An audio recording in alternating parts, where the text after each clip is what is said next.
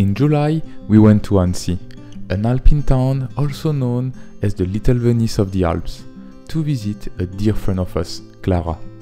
When we arrived, we visited the bustling old city of Annecy, with its cobble streets, winding canals, pastel-colored houses, and overlooking castle. By luck, we even found a splendid street performer right before arriving at Lake Annecy.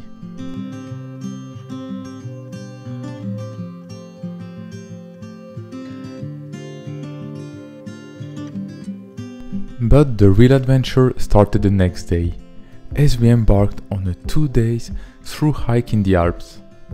We will be doing the Tour des Fiz from Lignon. On day one, we drove to the parking lot of Lignon, and then started the hike. Day one will lead us to the Alpine mountain hut of Moëde Anterne, after a 10 km plus 1200 meter gain and minus 300 meter altitude loss journey. The hike started going up through the forest, with a first waterfall viewpoint. Quickly, we came to an intersection where we followed the Collet Anterne.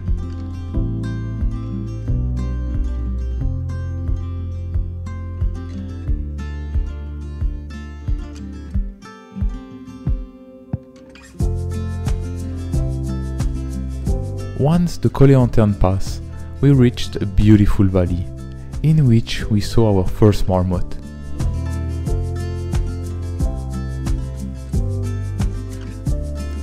Further in the valley, we came across a stunning river, where we decided to stop for lunch. And of course, we couldn't resist and had to put our feet in the water, which was really cold, but it was so refreshing. After a while, we continued toward the Alfred Wills mountain hut, where we found toilets and water fountains. That mountain hut at such a beautiful location. Our journey was now bringing us to the Col d'Anterne, with its 2257 meter altitude. So we were slowly hiking up, which gave us stunning views of the valley that was then behind us. We also saw another marmot, sitting on a rock and enjoying the sun.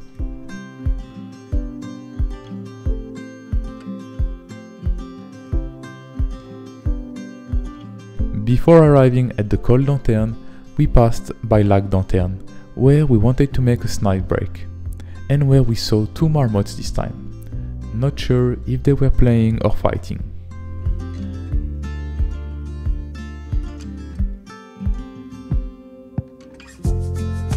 After escaping a herd of mosquitoes, we sat near the lake and enjoyed.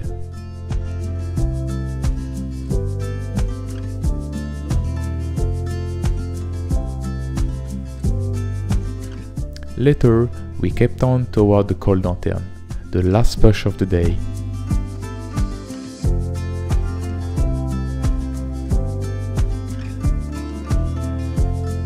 The views on the Col d'Anterne were breathtaking. We actually stayed there for 45 minutes, relaxing with the Mont Blanc Massif in front of us.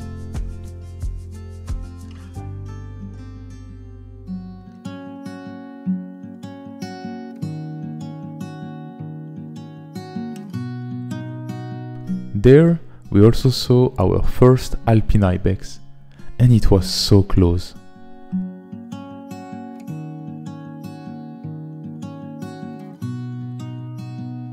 On the other side, we also saw a Mama Alpine Ibex with its two cubs. It was amazing.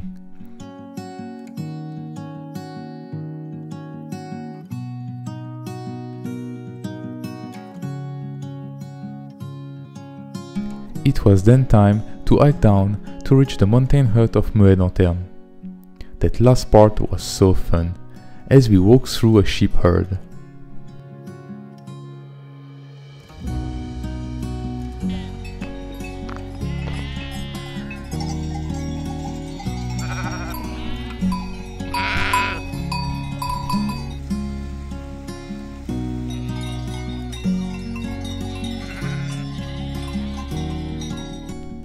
Finally arrive at Moëde Anterne.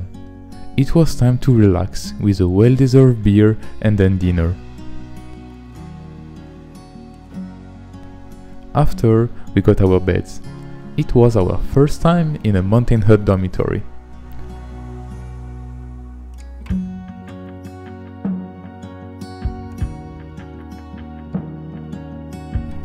We took a shower and then enjoyed some more of the views. We even got a good night from the moon passing by the Pic du Midi.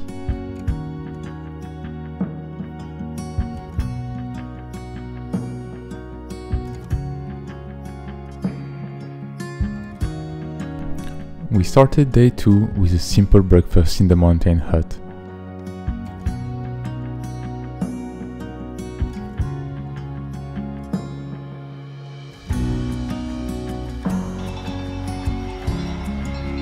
We then went out of the loop we were doing and headed to the lake de Pormenaz, which was only 25 minutes away.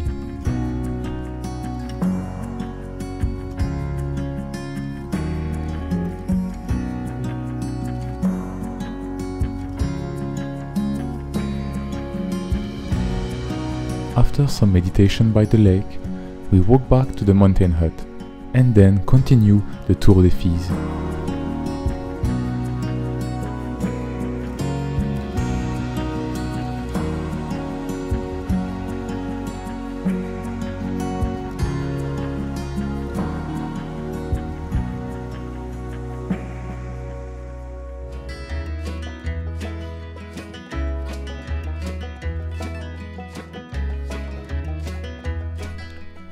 Trail was slowly going down until the small village of Ayères des Pierrières.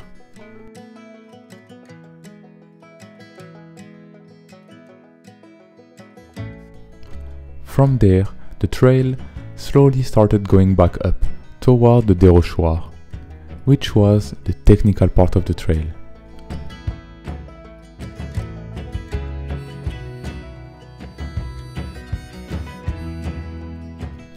Was fun being within the landslides, and we were slowly going, to be sure to follow the trail marked with the red dot. But little did we know that it would become even more technical with a Via Ferrata like trail.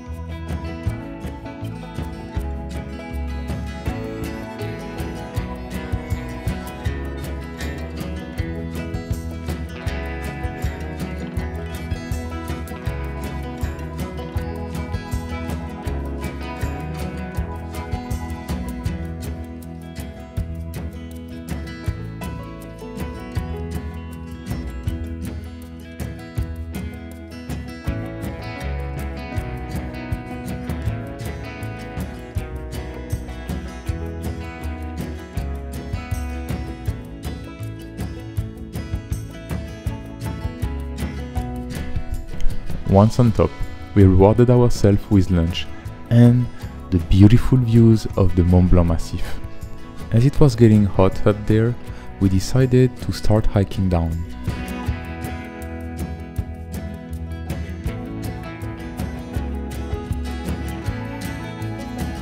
In the valley, we finally saw our first cows. We love to hear their bells.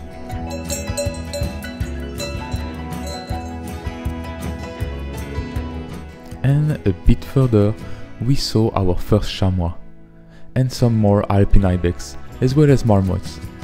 We were lucky that the chamois was waiting for the alpine ibex to go, which gave us time to admire it.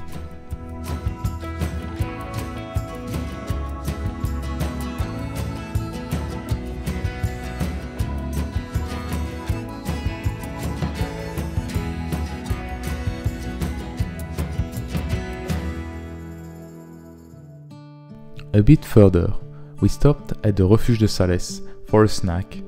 They had a delicious blueberry pie and super tasty craft beers.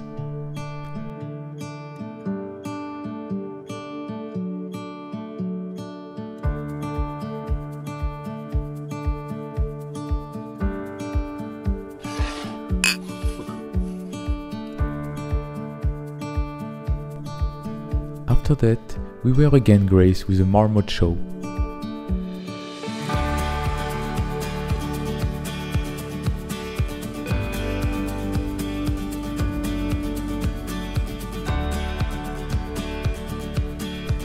Now all that was left was to reach the parking lot through a beautiful trail with many waterfalls.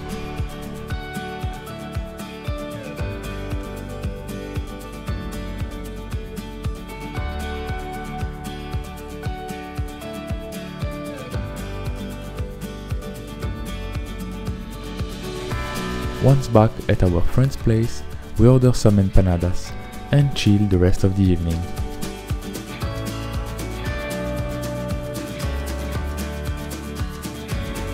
The next day, we opted to do a bike trip around a part of Lake Annecy.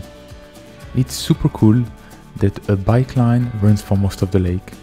Our first stop was the public beach of Sévrier. Our second one was the Hell Swamp.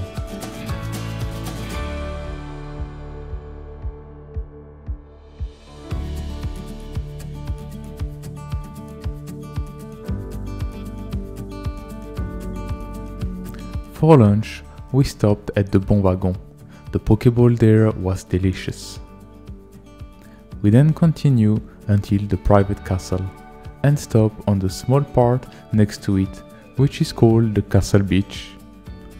The place was really nice, with lots of shade and the water fresh as well as easily accessible.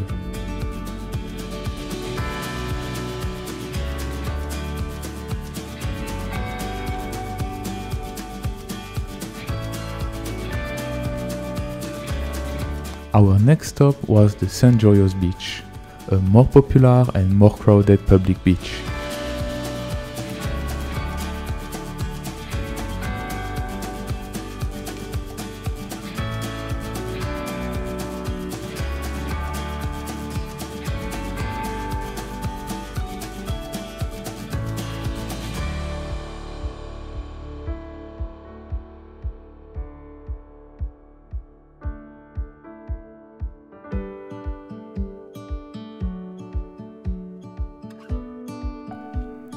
Back in Annecy, we went to our friend's place and made dinner ready.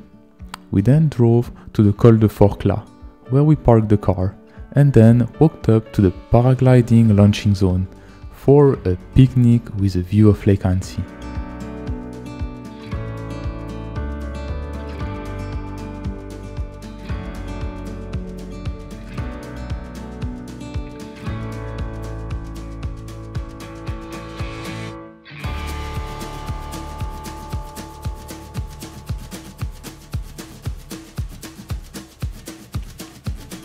The next morning, we headed for the local flea market, had a brunch, and then headed home after a beautiful time together with our friend Clara.